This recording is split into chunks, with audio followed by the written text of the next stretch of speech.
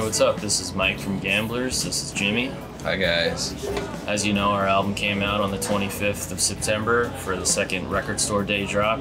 We're in our hometown record store on Long Island. This is called Looney Tunes. And uh, as you can see, we're up on the shelf there, looking pretty.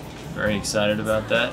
Just wanted to let you know that you can find us in a record store near you through the good folks at the Coalition of Independent Music Stores and, and Record Store Day. So just figured we'd stop by and take a take a look around and celebrate and reflect.